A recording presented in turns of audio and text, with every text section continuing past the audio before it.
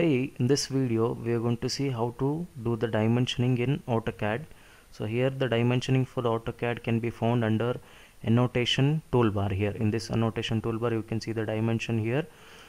Here we have a six different types of basic dimensioning linear aligned angular arc length radius diameter. These are the basic six types of dimensioning. So I have drawn some of the objects in the drawing area. We can do the dimensioning for this object. First we'll go for linear dimensioning. This linear dimensioning so this creates a linear dimension from two points here. I'll select the first point here and then second point here. So now second point and extend the dimension line when wherever you want here or anywhere on this drawing screen. Just click it and you will be able to see the dimensioning of the line here. This line is having the dimension of 20 mm and now we'll go for the second one. Aligned dimensioning. This creates an aligned linear dimension. So wherever we have an aligned dimension we just wanted to measure that di dimension. Just specify the first point and then specify the second point in this here. We'll specify it and then extend the line wherever you want it. And now we have got the dimension of this aligned length here. And now we'll go for the third one angular. So this creates an uh, angular dimension. So wherever we have an angular measurement just take the angular dimension and here select the arc circle line or specify vertex. I'll measure the angle between these two lines. I'll select the first vertex here and then the second line here. So this is the second line.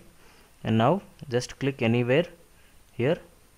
And now that will measure the angle between those two lines. So that is the dimension of angular dimensioning. And now we'll go for arc length here. So this creates an arc length dimension. So that will measure the length of arc. I'll click it. So here select arc or polyline or arc segment. So here I've drawn this arc segment. I'll select this arc segment and that will show the length of that arc. So here I'll click the and now you can see the arc length in the dimension.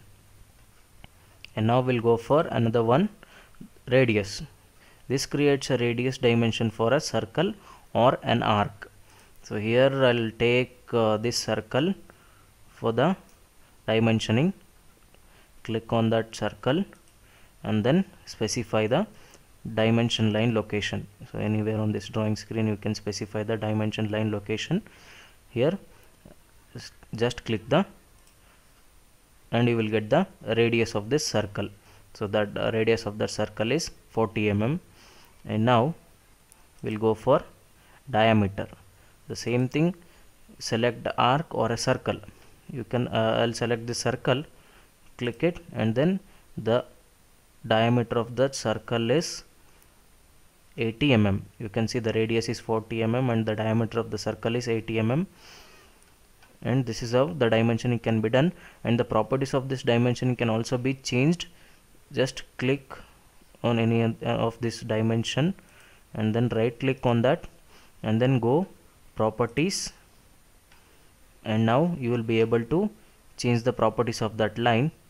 The, the dimensioning here you can see the color layer line type which line type and uh, here the line type which one is that. And you can change the arrow here. And arrow size also you can change the arrow size to 4 like that. You can also change the arrow sizing. And the dimension line weight also you can change it